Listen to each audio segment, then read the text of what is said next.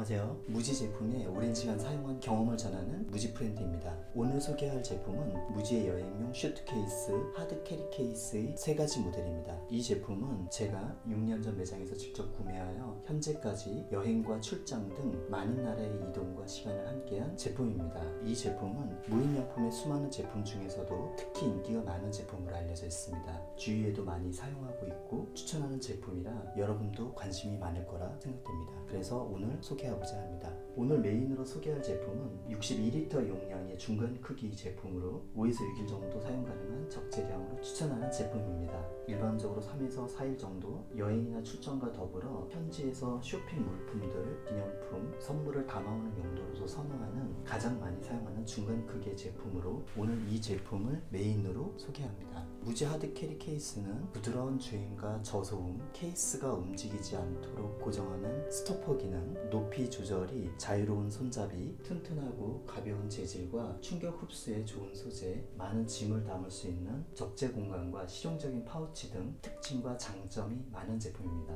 디자인은 무지 특유의 심플함과 모던함을 가지고 있습니다. 케이스 외관은 계단식의 11단계의 굴곡 패턴으로 이루어져 있으며 이 굴곡으로 인해 스트레이트의 밋밋함을 없애고 깔끔함과 심플한 느낌입니다. 탄력과 이 굴곡 패턴으로 인해 외부 상처를 덜 받을 수 있습니다. 케이스 외관의 재질은 본체는 질감이 고르지 않은 폴리카보네이트로 만들어져 있습니다. 탄력 있는 재질로 충격 완화와 함께 매우 튼튼합니다. 긁힘 방지 표면이 이 제품의 장점이며 스크래치에 강하고 스티커를 쉽게 제거할 수 있는 부분도 매우 장점입니다. 이렇게 눌러보면 탄력과 연성을 가지고 있어 외부 충격을 흡수하고 완화합니다. 수화물을 맡길 때 케이스의 외부 충격에도 한층 안심이 됩니다. 무지 hard carry case의 lock은 자물쇠로 되어 있고 국제 규격인 TSA 락을 사용하고 있습니다. 내부에 이 키 두 개가 들어있고 이 키를 이용하여 lock을 열리지 않도록 잠글 수 있습니다. 지퍼는 두 개로 부드럽게 열고 닫을 수 있으며 발수 지퍼의 가공으로 생활 방수 정도는 가능합니다.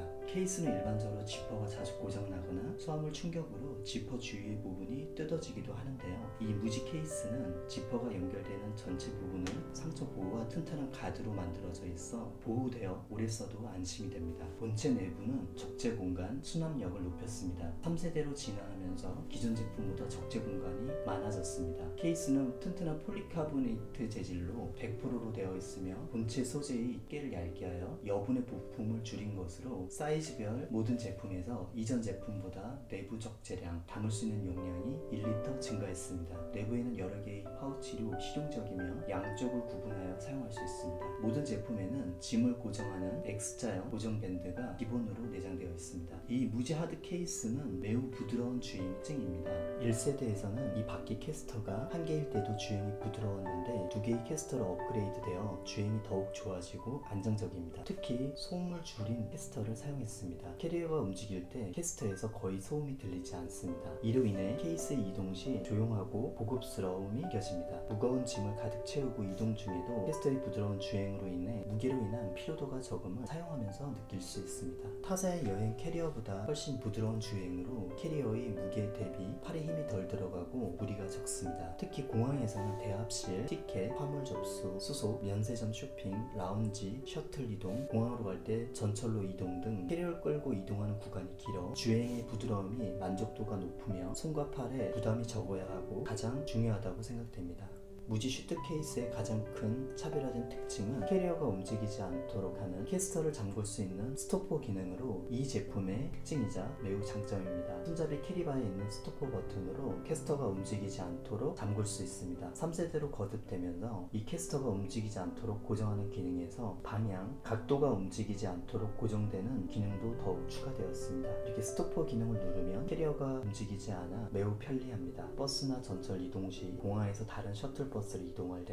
빈 구간 에스컬레이터 등 캐리어의 이동 시 더불어 공항 대합실에서도 대기할 때 캐리어가 움직이지 않고 안정적이어서 stopper 기능은 타사의 캐리어에 없는 특별하고 차별화된 MUJI hard carry 케이스의 특별한 기능입니다. 이러한 MUJI 슈트케이스의 특별한 기능은 다른 사람들의 궁금증과 부러움의 시선을 자주 느끼실 수 있습니다. MUJI hard carry 케이스의 가장 큰 특징은 무한대에 가까운 carry bar 손잡이의 높이 조절입니다. 다른 제품들은 손잡이 높낮이 조절이 제한적인데요. 이 MUJI hard 캐리어는 거의 1cm 단위로 32단계까지 세부 조정이 가능하여 매우 좋습니다. 특히 케이스 위에 여러 사이즈의 가방을 올려놓거나 이동하거나 사용할 때 사용 용도에 따라 carry bar의 높이가 자유로워 고정하기가 편리하고 실용적입니다. 캐리어의 위쪽과 좌측의 고정 손잡이는 튼튼하고 실용적입니다. 가방을 가로로 들 때 튼튼하고 안정감 있게 잡을 수 있습니다. 반대쪽 바닥에는 단단하고 튼튼한 플라스틱 받침대 4개가 있습니다. 옆으로 내려놓거나 버스로 갈아탈 때 등 이동 시 가방을 가로로 놓거나 뉘울 때 받침대가 있어 안정감 있게 잘 받쳐줍니다. 사이즈는 다음과 같습니다. 35리터, 62리터, 87리터 세 가지 종류의 사이즈의 케이스입니다. 제일 작은 초소형 20리터와 가장 큰 사이즈의 105리터 제품도 있습니다. 35리터는 높이 54, 가로 37, 폭 23.5cm입니다. 무게는 2.9kg, 내부 하중은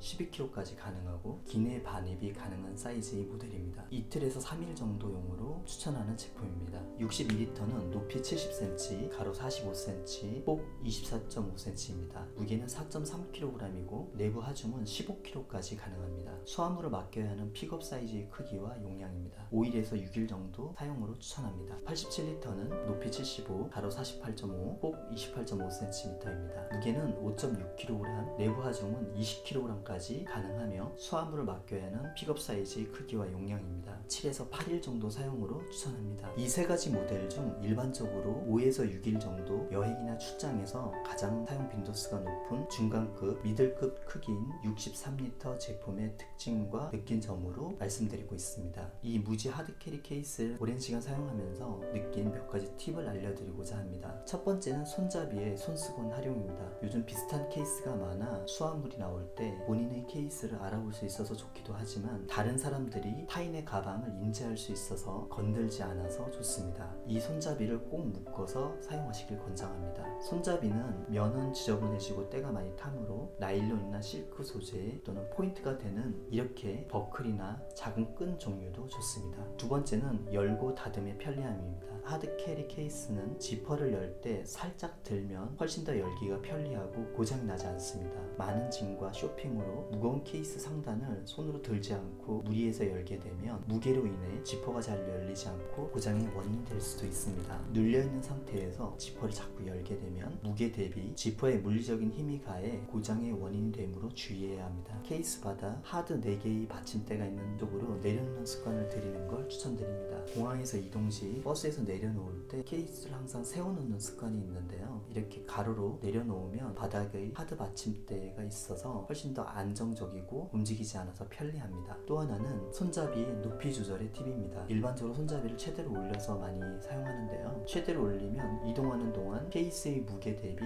손잡이가 모든 힘과 저항을 받게 되므로 더 유격이 생기거나 약해져서 고장의 원인이 될 수 있습니다. 최대 높이보다 한두 칸 내려서 사용하시길 권장합니다. 특히 세로로 옆으로 이동할 때는 최대 높이에서 한두 칸을 내려서 이동하는 게 손잡이와 가방의 물리적인 힘과 저항을 덜 받아 몸의 피로도가 적고 가방의 부담도 적어 편리합니다. 또 하나는 손잡이의 휴대 가방 활용입니다. 캐리어 외에 별도의 가방이나 짐을 캐리어의 손잡이에 꽂고 사용하면 훨씬 더 편리합니다. 캐리어가 주행이 부드럽고 튼튼하고 케이스의 재질이 탄력을 가지고 있어 다른 가방이나 짐의 무게를 캐리어에 탑재해서 사용하면 한결 편리합니다. 이 제품을 사용하면서 특별히 눈에 띄지 않는 심플함과 실용적인 사용의 편리함, 튼튼하고 좋은 소재, 여러모로 사용하면서 만족도가 높은 제품입니다. MUJI hard carry 케이스의 실용성과 편리함, 부드러운 주행, 세부 높이 조절이 가능한 손잡이, stopper의 특별한 기능으로 만족도가 매우 높고 다른 케이스의 기대나 부러움이 생기지 않았습니다. 무엇보다 부드러운 주행과 팔과 몸의 피로도가 적어 매우 실용적이고 편리합니다. 그래서 전 이 제품을 매우 좋아하고 추천하고 싶은 제품입니다. 감사합니다.